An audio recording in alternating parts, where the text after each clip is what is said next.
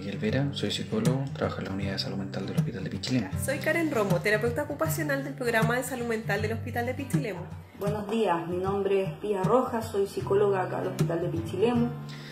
En estos momentos eh, es esperable que todos tengamos ciertos cambios de ánimo, ¿cierto? Que andemos un poco más irritables, a lo mejor con un poco más de miedo.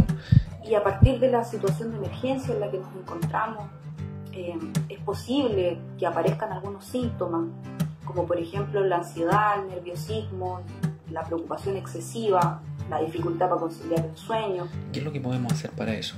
Una de las cosas que podemos hacer es centrarnos más en las cosas que están bajo nuestro control, las cosas que podemos cambiar, por sobre las que no. ¿A qué me refiero con esto? A lo mejor puede ser bueno que me centre en si yo puedo elegir lavarme o no lavarme las manos, salir o no salir de la casa, eh, mantener mi horario de sueño. Son cosas que están bajo mi control.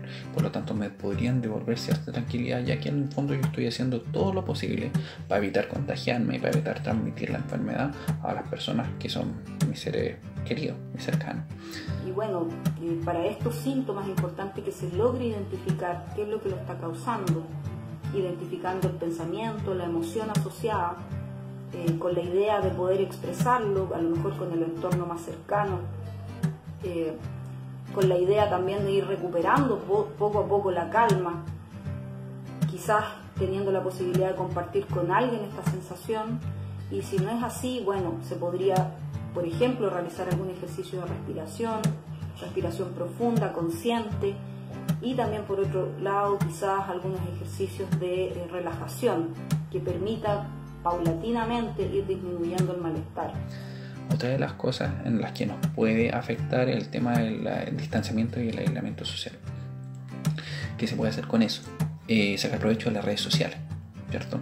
Claro, no voy a estar con la persona que quiero, pero sí puedo mantenerme en contacto con ella. También eh, todos nosotros tenemos acceso a ciertas personas que nos transmiten más tranquilidad que otras. Sería bueno acercarnos a esas personas. Eh, también, dentro de todo, a lo mejor poder aprovechar este tiempo que tenemos, que no estaba presupuestado, eh, para retomar viejos proyectos que a lo mejor habíamos dejado pausado por cualquier otro motivo y esta puede ser una buena oportunidad para retomarlo. Y quiero entregarte algunas recomendaciones enfocadas en el logro de un equilibrio ocupacional dentro de este periodo de cuarentena. Mantén tus hábitos de aseo personal, evita quedarte en pijama, mantén tu rutina de comidas y conserva tus horas de sueño. Las actividades de educación y trabajo realízalas en los tiempos en que solías hacerlo previamente. Quienes tengan niños dentro de su hogar se invita a acoger el estrés propio de la situación y utilizar el juego, que es la ocupación principal de los niños. Se invita a usar la creatividad, por ejemplo, elaborando pequeños circuitos que estimulen las funciones psicomotoras de los niños. Utiliza el juego de reglas, juego de mesas, etc. Se invita también a, a explorar nuevas actividades de ocio y tiempo libre dentro del hogar que te mantengan activo. También mantener el contacto con amigos y familiares a través de la tecnología, pero sin hacer un uso excesivo de la participación social virtual.